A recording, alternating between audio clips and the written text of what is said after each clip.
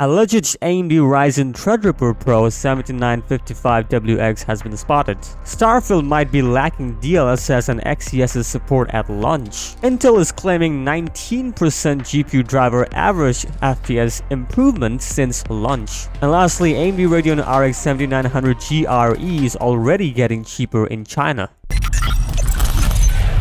This is Tech Trek. So firstly, we have Hong Yang Fu or Hong Yan Fu. I could be wrong with how I spelled that, but he confirmed is, confirming the Benchleaks tweet about this unknown CPU, and that's an AMD engineering sample whatever the code name is. Basically, he has confirmed that that's the Family 25 Model 24 Stepping 1. That's basically is the 16-core Threadripper Pro 7955WX. According to Geekbench, we're looking at a single-core performance of 2707 and a multi-core of 17419. It's the same exact CPU we're talking about here. So that's the 7955WX, that's the score. And when you compare that to 5955WX, we're getting some decent performance uplift here. As you can see, it's getting 2099 versus 2707. So a quite a good uplift here. Even, even in the multiple core performance, we're getting more than 1000. So that's pretty neat. And also, as you can see, the base frequency for this processor or the Threadripper Pro would be the 4.5 5 gigahertz as the base frequency and when it goes to the maximum we're looking at 5.169 nice. So yeah that's not a bad uh, uplift here. That's 5.169 gigahertz and of course in megahertz 5169 still nice. It's the same number but still yeah it's looking pretty good. That's a 16 core processor we're looking at here. 16 core 32 threads that's probably the entry level one for the threadripper even though that's 16 core processor because you know that's the baseline for the Threadripper Pro. And right now we're looking at this spec here and video card spec list. And if you can see, as you can see, we're looking at the TR Pro W97995WX. We're looking at the 96 cores 90, 192 threads we got also got the 78 79 85wx we're getting 64 128 79 something 5 we still are not confirmed what will the naming scheme would be is it 48 96 and 32 64 and now we have the proper identification for the 7955WX, which is 16 core 32 threads, 4.5 gigahertz. That's the baseline. 5.1 is the max, and of course 350. All of them are rated at 350. And we have one more that is a 7945WX that still needs to be a down. So we'll look into that later. Next up, we have a Twitter user, Sebastian Castellanos. I guess that's as well. Uh, he just tweeted this. So after combining through Starfield preload files on a PC, I don't see any sign of it supporting DLSS and XeSS. So he's basically talking about this here. As you can see, this is the uh, basically the Starfield game files.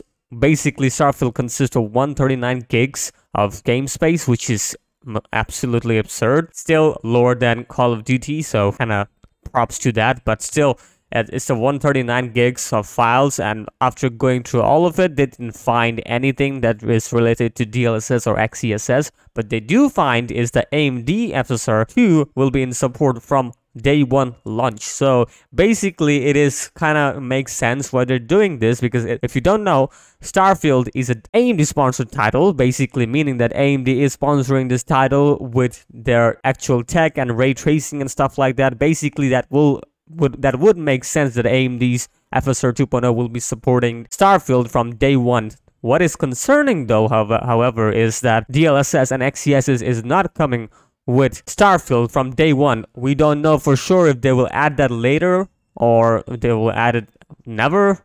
Probably they would added later because you know usually that is the case where when there's something that is something sponsored like nvidia sponsored or amd sponsored doesn't matter. They usually go for the amd or nvidia's feature tech first and then later on they add the technologies that is not sponsored. I guess this in this case amd will be sponsoring it and that's why fsr 2.0 will be coming with the game from day one launch or day one patch whatever you want to call it.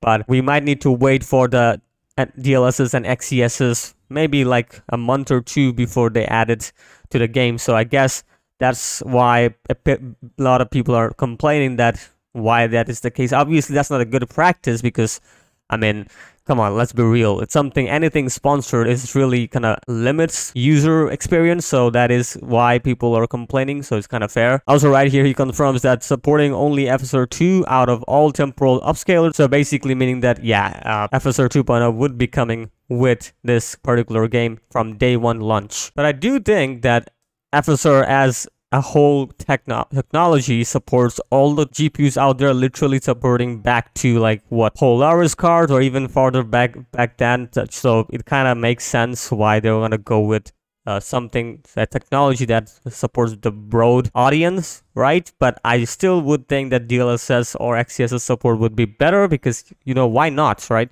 Because let's be real, DLSS or even XeSS in terms of image quality is better than FSR 2.0. Even though FSR 2.0 is quite good, I'm not saying it isn't, it is pretty good, but having multiple options is really good for the user experience. If not, then these are the complaints that you will get, which kind of hurts the branding of the company itself and the game itself. So that's my take. Next up, Intel is showing uh, showcasing their update for the DX11 performance, and it's not looking that bad here. They're literally claiming 19% faster on average, according to their analysis and of course a 20% in 1% lows improvement so that's also pretty good. So if you look into the performance improvements here we're looking at a 1080p average fps for the intel arc a750 and they're comparing the 3490 launch versus the latest drivers here and as you can see it's a, it's an uplift in all titles not the huge title in some cases like destiny 2 didn't get a huge uplift but in other titles like league of legends or even valorant or even counter-strike dota 2 genshin impact overwatch 2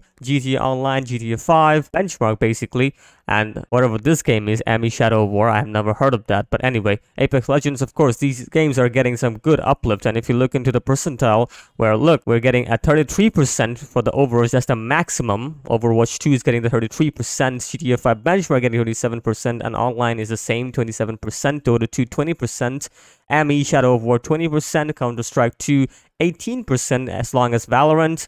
Apex Legends 1% low, which is 17%. Genshin Impact is 15%. League of Legends 11%. And as I said, Destiny 2 didn't get a huge uplift, only 5%. Again, this is the first party benchmark, but I kind of believe them because why would they even nitpick anyway? And even then, the 1% lows performance were massive, especially in the Overwatch 2, 45%. So right now Overwatch 2 is more smoother, much smoother than the previous driver. So that's great. GTA 5 is getting 25, Dota 2 24, GTA Online getting 22, Apex Legend 20, Counter-Strike 2 getting 19%, Valorant 18, Genshin Impact 17, ME Shadow of Wars getting 12%, Destiny 2, in this case Destiny 2 is a bit better in terms of one person lows, so 10%, and League of Legends only 9%. So uh, all, all over the case, we're looking at some good performance uplift, even in the 1% person lows and in the average FPS, so that's pretty neat. So thumbs up. Next up, we have an article from IT Home, and we're looking at Sapphire RX 7900 GRE public version of the display card dropped to 5,099 yuan. So previously, if you look closely here, it was 5,599, so basically 50 600 yuan. Uh, we've also had the 57.99 yuan basically dropping down as they claim, which is the 5,099. So it's a huge improvement or huge drop, I should say. But it's only huge when you consider the yuan in, in dollar. We're getting only 4% decrease which is 727 to 699 so not a huge drop here from 727 to 699 but then again we're talking about the usds here but it shouldn't be counted as USDs. It should be counted as yuan. But still, it's, they're they're dropping already, which is kind of makes sense that that would drop. I'm not surprised. Yeah, that's it. Not a huge drop in price, but still dropping in price.